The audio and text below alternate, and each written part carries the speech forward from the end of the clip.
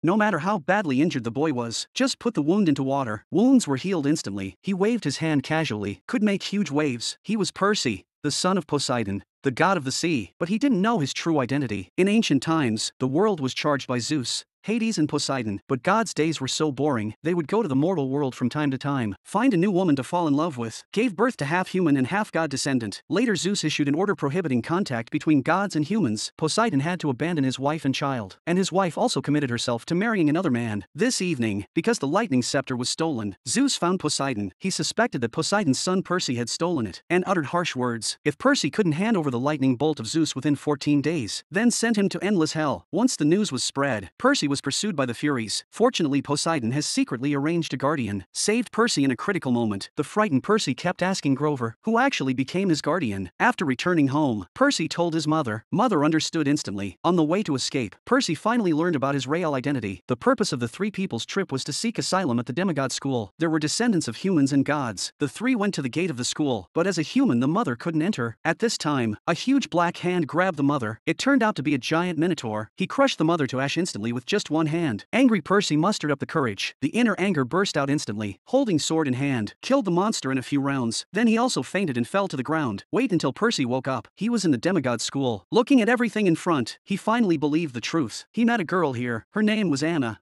the daughter of Athena, the goddess of war. Percy fell in love with Anna at first sight. In a training session, Anna and Percy became rivals, relying on her rich practical capabilities. Anna beat Percy until he was dying. Just when everyone was laughing at him, a voice suddenly sounded in his ears. Percy struggled to crawl to the water's edge. At the moment to contact with water, the wounds began to heal automatically, the boy was seriously injured. He crawled to the water's edge with difficulty. The moment the wounds contacted with water, he was miraculously healed. Even the strength has been improved. Easily defeated his opponent Anna and captured her heart. He also became a hero that everyone admired. At night party, Percy got invitations from girls. Just when Percy lost himself, Anna showed up just in time, declared sovereignty. The two of them fell in love with each other completely. At this time, a demon with wings suddenly appeared from the campfire nearby. He was Hades the god of hell, he used Percy's mother as a threat, made him hand over the lightning bolt of Zeus, although Percy didn't know the whereabouts of the lightning bolt. In order to save his mother, he decided to take the risk and go to the underworld. Before he left, he met Grover and Anna, faced with the entanglement from the two. Percy had no choice but to take them with him to enter the underworld. They must find the three pearls leading to the underworld first, and the first pearl was in Medusa's hand. They went to a garden market. This was Medusa's territory. She could turn enemy to stone by gazing with the eyes. When running away in a hurry, Anna met Medusa. No matter how Medusa bewitched bewitched Anna, she didn't open her eyes. Percy arrived just in time. Reflection through mobile phone mirror. Cut off Medusa's head with the sword. Medusa still cannot escape the fate of being beheaded. They successfully got the first pearl. Subsequently, they went to the second location, the museum of the goddess Athena, but now there were tourists all around. The pearl could only be removed after the museum was closed, but before they had time to be happy, a huge hydra suddenly appeared in front of them. The giant snake spat flames from its mouth. The three fled in a hurry. Crucial moment. The power of Poseidon awaked again in Percy, controlled the flow of water, forming a huge wall of water, but this had no effect on Hydra. In the end Grover was smart and took out the head of Medusa. Hydra gazed upon the power of petrification, instantly turned into a huge stone statue. The museum got a giant snake fossil for free. The last location was a casino. The three unsuspectingly ate the free lotus cakes. They became excited instantly, forgot the purpose of this trip. At this time, the strange sound sounded in Percy's ears again. Only then did he wake up. Then he also woke up Anna and Grover. Though blocked by security, they still managed to get the third pearl. The three arrived at Hell just before midnight.